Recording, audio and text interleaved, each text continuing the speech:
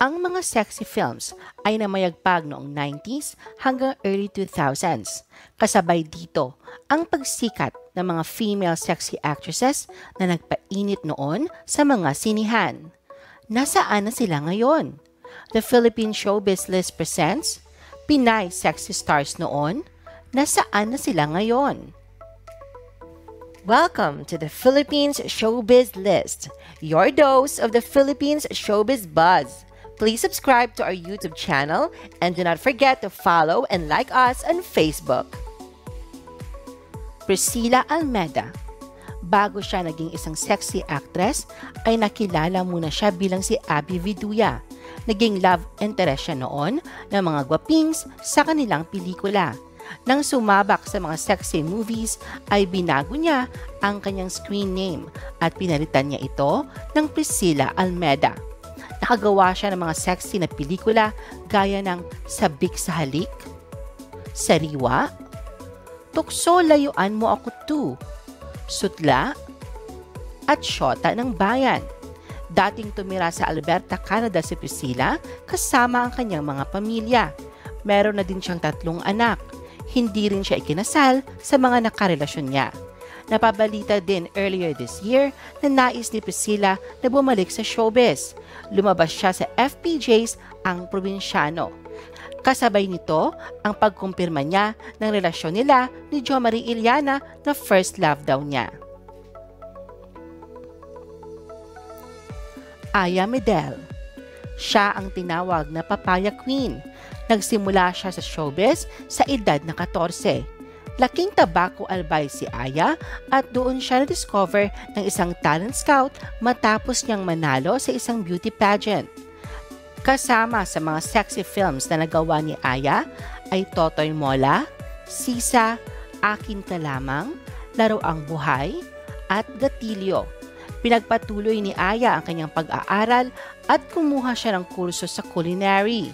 Nakapagtrabaho siya sa Intercontinental Tokyo bilang sous chef at nakapagtayo din siya ng kanyang restaurant business sa Albay.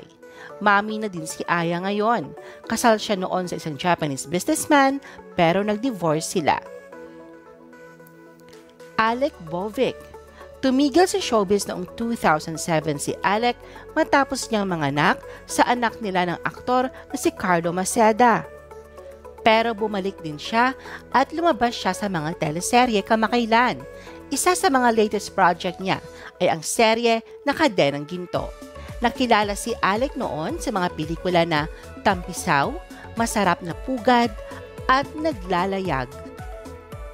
Sabrina M.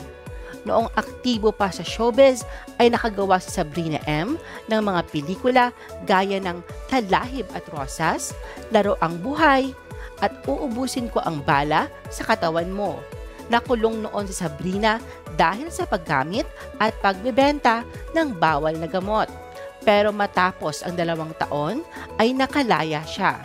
Bago siya nakalaya noon ay sinabi ni Sabrina na desidido na siya magbagong buhay.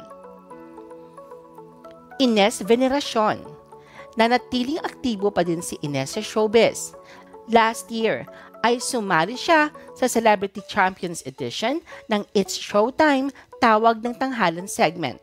Ilan sa kanyang mga sikat na pelikula noon ay Sa Paraiso ni Efren at Alindog ni Barbara. Belinda Bright hindi na active ngayon sa showbiz at sa social media si Belinda Bright. Ayon sa ulat ng pep.ph, may usap-usapan daw na nagtrabaho si Belinda bilang flight attendant ng Qatar Airways pero pinaalis daw siya nang malaman na isa siyang sexy actress noon. Ilan sa mga sexy films niya ay ang Shh, She Walks by Night at Ang Kapitbahay. Joyce Jimenez siya naman ang binansagan na pantasya ng bayan. Ilan sa kanyang mga sikat na sexy films ay Scorpion Nights 2, Warat, Narinig mo ba ang latest? At ano bang meron ka?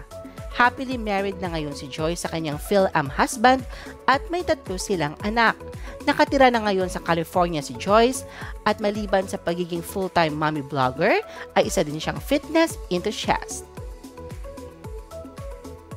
Amanda Page Sa pagpasok ng bagong milenyo noong year 2000, ay biglang nawala si Amanda sa showbiz.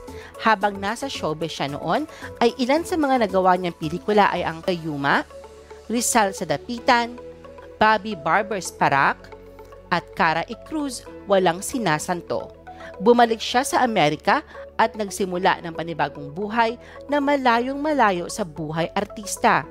Ngayon, may sarili ng pamilya si Amanda at masaya sa pribadong buhay nito. Katuwang niya ang kanyang asawang doktor sa pagmamanage ng kanilang psychiatry clinic sa Ventura, California. Ang asawa ni Amanda ay isa ring Pilipino. Ayon pa kay Amanda, ay madaming nagbago sa buhay niya nung nagkaanak siya. Pero pribado na ang buhay niya ngayon at isa siyang working mom. Claudia Coronel Nakatira na ngayon sa Los Angeles, California, si Milfi Dacula na mas kilala natin na Claudia Coronel. Nagtatrabaho siya doon bilang isang nursing assistant sa isang ospital. Divorced siya sa kanyang Chinese-American businessman husband.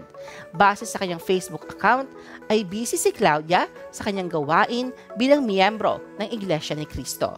Nitong August lang ay napabalita na namayapa na ang ina ni Claudia pero hindi siya makauwi mula sa US dahil sa pandemya. Ayon pa sa kanyang post sa social media, ang hirap pamatayan, di makabiyahe. Isa kong kapatid sa Mindoro, walang masakyan. Kaya isa lang kapatid ko kasama ng mama ko. Dagdag pa niya, ang mamatayan ng ina ay napakasakit pero mas lalong nagpahirap ang kalagayan na di mo maabutan ang iyong ina dahil sa epidemya. Kahit umuwi man kaming nasa abroad, ito ang laging tanong sa isipan, maabutan pa ba kita ma? Paalam mahal kong ina, I love you mama. Sumikat noon si Claudia sa mga pelikula na Pisil, Anakan Mo Ako, Toro, at Tuhog. Natasha Ledesma 15 anyo siya noon nang magsimula si Natasha sa showbiz. Pagkatapos niyang mag-showbiz noon, ay nagpahinga muna si Natasha at muling bumalik sa showbiz para gumawa ng mga serious roles. Ayon kay Natasha, ay stepping stones lang niya noon ang paggawa niya ng mga sexy films.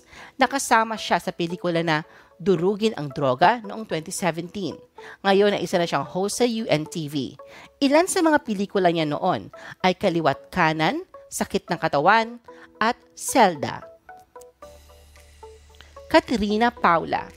Matapos siyang mag-showbiz, ay pumunta ng Japan si Katrina Paula para magtrabaho bilang isang entertainer at nagtayo siya ng kanyang negosyo ng mga bags at alahas.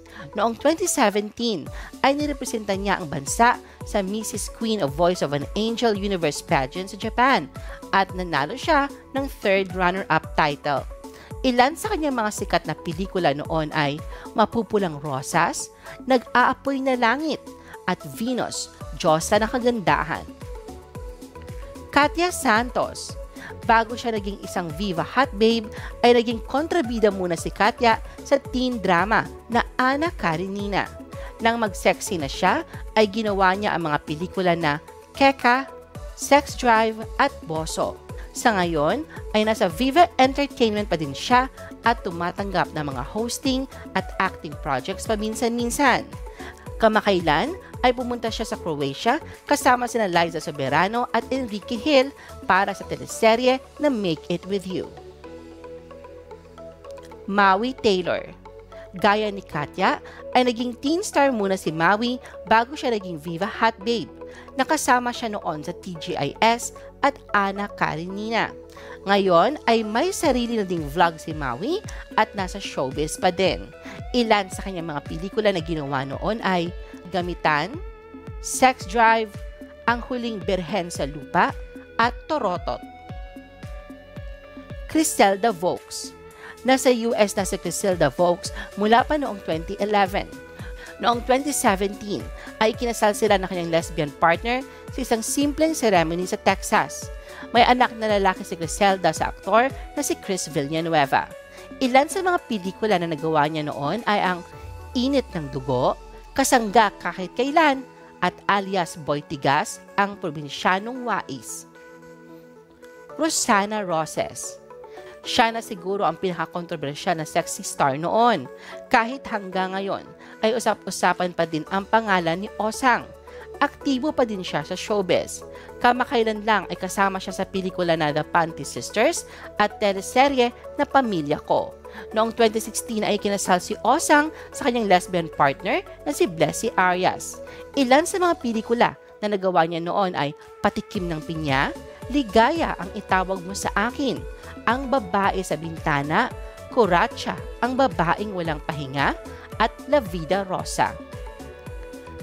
Rica Peralejo Happily married na si Rica sa pastor na si Joseph Bonifacio. Ikinasal sila noong 2010. Matapos niya ikasal, ay tumigil na sa showbiz si Rica dahil nais niya mag-focus sa kanyang pamilya. Ngayon ay isa siyang vlogger at full-time mom at wife. Ilan sa mga pelikula na nagawa niya noon ay Dos Equis at Hibla. Asunta de Rossi Ikinasal si Asunta sa congressman na si Jules Ledesma. Ang 37 years old na si Asunta ay buntis ngayon sa panganay nila ni Jules. 16 years na silang kasal at para kay Asunta ay miracle na nabuntis siya. Ilan sa mga sikat na pelikula ni Asunta noon ay Hubog at Red Diaries. Sa lahat ng mga female celebrities na nabanggit, sino para sa iyo ang pinaka-sexy noon?